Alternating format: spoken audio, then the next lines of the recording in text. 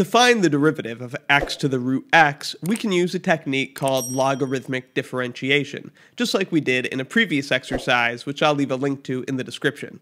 In that video, we took the derivative of x to the power of x. For this one, just to mix it up, we'll use a slightly different technique where we rewrite this function as an exponential. x to the root x is the same as e to the root x times the natural log of x. And so the derivative of x to the root x is the derivative of this. And the derivative of an exponential function is pretty straightforward. It's just e to the power, so e to the root x times the natural log x, but then by the chain rule, we need to multiply this by the derivative of that power. So the derivative of root x ln x. We can find the derivative of root x ln x using the product rule, f prime g plus g prime f. If root x is f, then f prime is 1 half x to the negative half, and then we multiply that by g.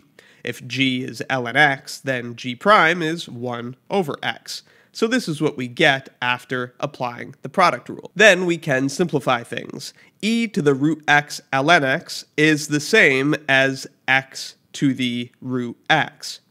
In brackets, 1 half x to the negative half is the same as 1 over 2 root x. This, of course, is getting multiplied by the natural log of x and 1 over x times root x is the same as 1 over root x, using our exponent rules. And so if we multiply this term on the right by 2 over 2, then we can combine these fractions because they'll have the same denominator. And so our final answer is x to the root x multiplied by ln x plus 2 divided by 2 root x. And that's how we find the derivative of x to the root x. We just rewrote it as e to the root x ln x, and then applied familiar derivative rules, arriving at this answer x to the root x times ln x plus 2 over 2 root x. Let me know if you have any questions, and be sure to check out my Calculus 1 course and Calculus 1 exercises playlists in the description for more, and consider joining as a channel member to help support Wrath of Math and get access to additional exclusive calculus videos.